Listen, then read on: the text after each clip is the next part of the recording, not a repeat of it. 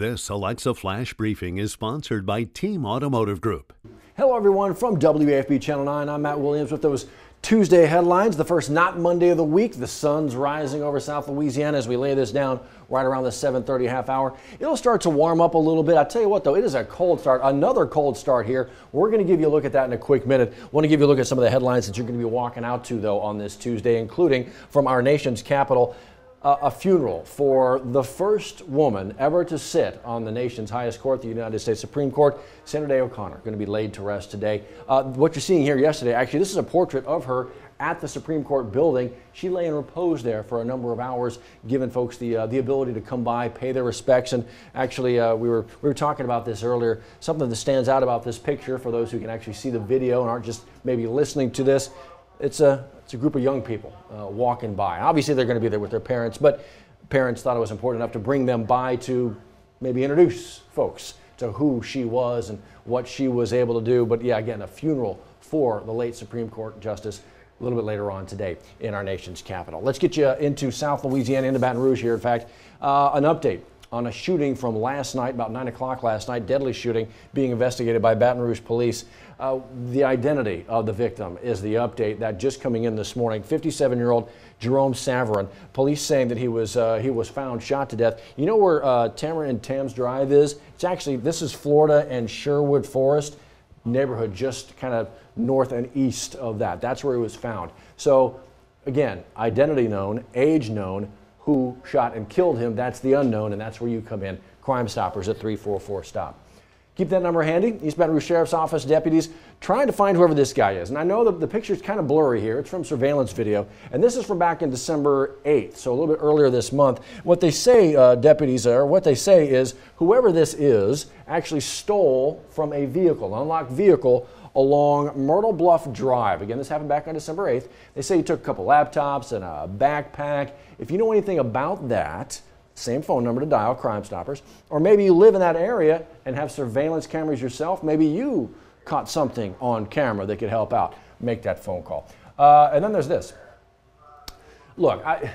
I guess if I buy a, a barbecue pit's got wheels on it, I'm gonna I'm gonna wheel it out kind of just like that, perhaps myself as well. But it's just it's weird to look at this funny i don't know in a way to look at this and, and, realize that according to authorities walker police this guy didn't pay for it just wheeled it on out of this the Stine's there in walker you know where that is? Apparently whoever this is stole this barbecue pit and then took off in a, a white van either gmc that they're thinking gmc maybe chevy big white van. So and actually we have a couple of photos in this story maybe a better one of him as well and the van that they say he got into. So uh, yeah if uh, you see that mm, barbecue pit kind of rolling around make a phone call, see if you can't help uh, investigators out. This has been one of the main stories. Oh gosh, well, at least since 2016, right? Since the flood of 2016. Even before that, though, uh, we all knew those who lived in the area that the Comite and the Amite needed to be de-snagged here and uh, needed to be cleaned up, cleared up because it could pose flooding issues and flooding risks.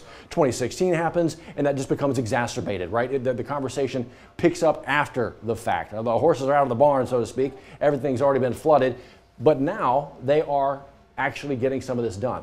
Comite dredged. We've done those stories. Amite River, about 10,000 cubic yards of stuff taken out of there. It's just been amazing to see some of the work that they have done. 10,000 cubic yards of debris hauled out of there. Callie Hubbard was talking this morning with some of the folks involved with the project there, the ongoing project there, about what's been done, the hope of what it actually prevents uh, uh, down the line in the future here. But yeah, again, it is one of those, when you talk about flooding in South Louisiana, the Amite River comes up a lot, depending on obviously where you live. So Callie's story right there, kind of laying out where we are now with the Amite. Want to let you know about this food box giveaway happening today uh, in Baton Rouge. It is the Greater Mount Olive Missionary Baptist Church. You know where that is over on Victoria Drive?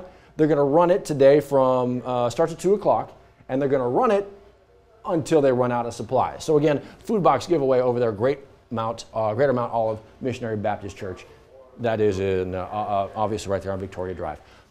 Want to get you out here uh, side one more time. Give you a look at what you're kind of walking out into as you uh, wake up this morning. The sun has uh, woken up, as it typically does about this time, uh, for this time of year. You're going to be walking out to some chilly temperatures.